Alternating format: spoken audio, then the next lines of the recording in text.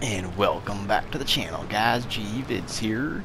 We are going after an upgrade today and we are in Alaska. If you cannot tell from the snow on the ground, I highly suggest you guys throw some chains on your tires or uh, take out the big old tank right here and we'll have no problems getting ourselves around this Alaskan territory. Anyways, we got the upgraded engine for the Royal, the Caterpillar Freightliner, and the Longhorn. Multiple trucks for this engine. I absolutely like that.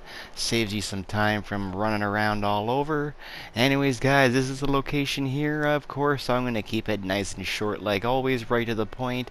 If you guys like that, please subscribe and share the videos. And I hope I catch you on the next one.